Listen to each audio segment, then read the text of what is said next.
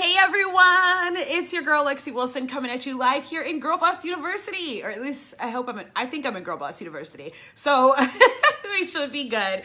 But uh, I'm excited because, as you can tell by the title, we are talking about marketing, and this is so what I love to talk about. It is so my jam. I love everything that has to do with marketing, sales, business strategy, all of that. Like, that's just like, ugh. And I spent a lot of time reading books, watching um, watching YouTube videos and learning about them. One of my favorite people to follow is Marie Forleo because she is like the queen at marketing. So if you know, if you, um, of course, you obviously have online businesses, but if you love everything to do with marketing just like I do, then you need to be following Marie Forleo. So we see Selena in the building. Hello. I don't know what that was. Hey girl. Hi Vanessa. Welcome. Go ahead and say hello down in the comments because I can see that there are people here. Facebook is doing something weird because it's telling me no one's here, but then I see photos. So it's weird. So go ahead and say something down below so I can at least see your name and who all is here. I am thinking, you guys, of actually creating a normal schedule so that way when you want to catch me live, you can catch me live and then ask me questions and things like that. Let me know if you guys are down with that idea because I think it would be great so we can have interaction because I love being able to talk to my girls. Yes. You know, but I definitely want to um, do that and uh, all that. So let's get into today's topic about how to market your business in a way that doesn't drive people crazy because no one wants to get annoyed by your marketing. Okay? Let's just be clear. But I think what people don't tend to think about is they tend to think uh, my stuff is like you tend to second guess yourself and think that everything that you're posting is annoying because no one's liking it or no one's responding or engaging. When that could be true, but more than likely it's not. Um, so we'll have a whole video on like how to create engagement on your posts. But there are some of the tips that you're to learn today, which I'm to share three tips with you to keep it short, sweet, and simple so it's easy to follow through. Uh, some of those tips are going to help you with your engagement. So moving forward, you're not running into this issue a lot. But the first thing is that when you're trying to market your services, your programs, your um, your products, your opportunity, whatever it is, whatever industry you're in, the first thing that you have got to do is to share value. I know you've heard it a million times, so let's dig deep into what value is. Value is anything that can make someone's life, business, or personality, personal growth, personal development better. So you don't have to, like, let's say, for example, you're not really into personal development. That's not your jam. You don't have to share tips on personal development, but maybe you're excellent at like photography. And so you can share tips on how do you use your camera? What filters do you use? Maybe you're excellent at apps and you know exactly what apps to use to create really amazing content. Share what those apps are, you know, but you want to do things where you're sharing what you know and providing value to someone else. How can it help them? a lot of times when I wake up in the morning, that's literally what I'll think to myself is, what can I do today that's going to help my audience? And that helps me to craft content. So that way when I'm marketing, my marketing isn't annoying because people are finding it to be helpful. So for me, hi Aaliyah, yay, welcome girl, catch me twice in one day. so for me, my thing is I love to make people feel empowered. Like I love to make, and, and, and probably the number one thing is I love to teach people how to think about what they're doing. Because for me that's always been my biggest struggle and I think it'll always be my biggest struggle is I don't know what to think when I'm dealing with rejection, when I ask somebody to join, you know, my business and they say no, my natural response can be like, oh, what's wrong with me? Why don't they like me? Blah, blah, blah, right? That I tend to pull this like negative thing and start beating myself up on it. So I've had to learn. I would literally have to ask my boyfriend, okay, what am I supposed to think? when this happens because I know that the way that I'm thinking about this is not helpful. And half the time, it's not even true. 90% of the time, the things that I'm thinking aren't even the case, right? And I know a lot of you guys, that's the case. You're offering to sell something, maybe like Aaliyah, she has a store, or maybe you're a coach and you're selling a package and then no one bites, no one buys the package from you, right? And so it sometimes you think to yourself, like, oh, does this suck? Am I a bad coach? Am I a bad this? Am I a bad that? And that's probably not like 90% of the time, that's not the case. It just is what it is. So now I like to help people know how to think about those situations so they can move forward in their lives and continue to show up even when they're facing such deep adversity or that rejection is bringing up those negative things. And then I like to empower people. So that's the value that I tend to bring on my page is I know, even though you guys know, for some of you guys know, I work in luxury hair care, right? Not a lot of my posts are on hair specifically, right? Because I'm not necessarily like, let me break down the hair cuticle for y'all and show you why, because that's, that's not necessarily my passion, but empowering people to make money, that's my passion. You know, empowering people to think like they're worth something that their dreams matter and that they can actually accomplish, that's my passion. So I bring that value since the rest of the world half the time isn't doing that, right? Okay, so I'm sorry you guys if you are commenting because I can't see the comments. Let me check my Facebook and see if there's a way for me to go into Girl Boss University because I can't see the comments and I feel like you guys are commenting. So I'm so sorry. Um, okay. I gotta check on my Facebook page here. Okay, I don't know. Or maybe you guys aren't commenting. Okay, so we're good to go. All right, so, all right, so that's the first thing is make sure that you're sharing value because you won't drive anyone crazy if you're sharing value. Another thing is that if you're focused on like, let's say you're working in network marketing and you work in fitness and health and fitness, right? What you can do is also share kind of the story behind your products and behind your business and behind why you're doing what you're doing. Okay. So in marketing, this is a really great thing. You'll see a lot of times on like um, uh, commercials and things like that. No longer are people just saying, hey, buy this Nike shoe. Hey, buy these Adidas. Hey, shop at Target they share a story. They start with the little girl who, you know, is at her house and she's writing a letter to Santa and she's like, I really want, you know, a red bike. And then you show, you know, mom looking at the letter, trying to figure out how am I going to afford a bike for my daughter. And then you see that Target has this amazing sale. And so she's able to afford the bike and then she's able to give it to her daughter. And now her daughter believes in Santa. You know, like they're sharing a story when, in all honesty, the whole point of that was this hey, come shop at Target, right?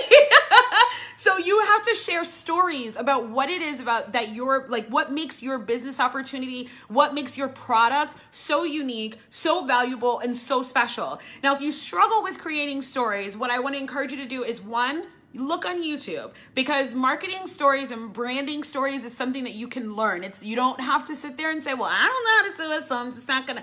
No, girl, no excuses. You are a boss, a girl boss, and so you know that you can be resourceful and learn how to do these things. I'm sure I'll also talk about it here at Girl Boss University because, like I said, I love everything that has to do with marketing. But then the other part of this is that if you're still struggling with the idea of like, how do I craft a story? Share testimonies. Share testimonies about how your product has helped save someone, help build someone's confidence. Show photos if that applies to what you do. Um, let's say if you're a coach and maybe you're you're a mindset coach, so you might not have a photo of somebody's mind changing, but what you can do is share the testimony of one of your clients and ask them, hey, if you share this testimony, I'll give you 10% off of your next, uh, you know, service with me, or you know, or something. I don't know, but you want to share, a you want to ask them for a testimony so you can share how your work has helped them grow or help them change in their life. Okay, um, and then over time, continue to work on how can I craft stories around my products and around my materials. And then the last thing that I want to encourage you guys is to be creative with your graphics. So a large reason why some uh, people don't get uh, engagement on their posts, especially if this is in network marketing, because in coaching you tend to already do what I'm going to suggest, uh, but with network marketing, a lot of us we get graphics from our companies, which it's great, right? Because they're trying to make it easy for us to be able to share our opportunities or share the products and see the difference that it makes in other people's lives. But the problem is, is that most people don't come onto Facebook to be sold to. They come onto Facebook because they want to connect with friends and family. Now on Instagram, it's a little bit of a different story. People go on Instagram sometimes with the intention of purchasing things. It's the same thing with Pinterest. They go on Pinterest knowing that, hey, I'm trying to look for something that I may want to buy. So you can kind of share a little bit more on Instagram, but even then you want to be creative with it.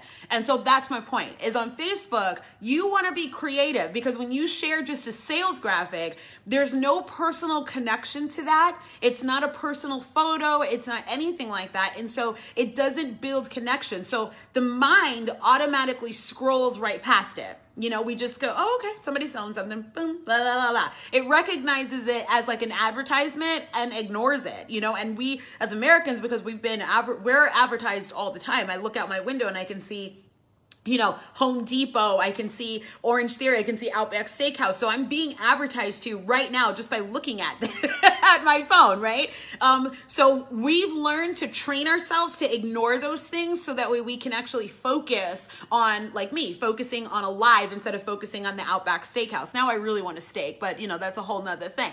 So the same happens on Facebook. When we see that sales graphic, we know to ignore it. So the way that you're going to market without driving someone crazy is one, you're going to create your own graphics. You're going to use different apps that you can, you know, utilize to create your own stuff. Photo shoots are perfect. This is what I love. Okay. I literally just do my own photo shoots. I grab my phone, I grab a tripod, and I get outside or I go into the bathroom and I get into the shower because my stuff is hair care, you know, and I create my own graphics and then I use apps to add words to it or to change the filter. You know, I have fun with it. I get creative because this is part of my business and it's part of what makes uh, my business fun is the creative kind of. Um, space that I get to be in by doing my business. Now, if this isn't your your strong suit, that's absolutely okay. Take a selfie. You know, you're able to do that when you're on Facebook. On Instagram, like I said, it's a bit of a different story, so I'll, I'll talk a little bit about that in another video. But on Facebook, take a selfie. People respond very well to faces right? So let's say, for example, like I said, I work in hair care. So taking a selfie and just showing how my products work on my hair or my extensions can make a big difference in whether or not somebody's actually going to like my photo, share my photo, or comment on my photo. But if I'm just posting graphics coming from my company, they will ignore it it just is what it is. And in that same selfie, maybe all I say is, wow, I'm so grateful for my dry shampoo today. It saved my life, you know? Or maybe I say, like, I'm so excited. There's this huge blowout sale. Reach out to me if you've been dying to try my products. You know, it doesn't have to be this complicated big deal, but it's really simple. Selfie, couple of words, post it right? So when you get creative with your content, with your graphics, it engages people more. But if you're out there and you're just like, sharing graphics or just taking like what the what your company is giving you and then just posting it it's probably not going to create a whole lot of buzz okay? And it's the same thing with other things too. I'm focusing a lot on network marketing because I know we specifically will get graphics from our unique companies. But even if you are an actual like brick and mortar store or business, it's the same thing. If you're creating like graphics that look like advertisements on Facebook, people will just ignore them right? What what people respond best to are pictures of faces, babies, dogs, right? They respond very well to those things. So you want to get creative. And then when you add in that piece of adding a story, that also just really adds to it. So for example, with Aaliyah, she has a clothing store, which is awesome. And so there's a lot of stories that you can create or share about each of the pieces that are in your store. Maybe there's something I um that you there's a dress that you really like and it reminds you of a Disney princess and you share kind of this story or if it's something that maybe um, is being like resold and you share the story behind that dress, you know, you want to share that because it creates this idea that's like, wow, I want that dress.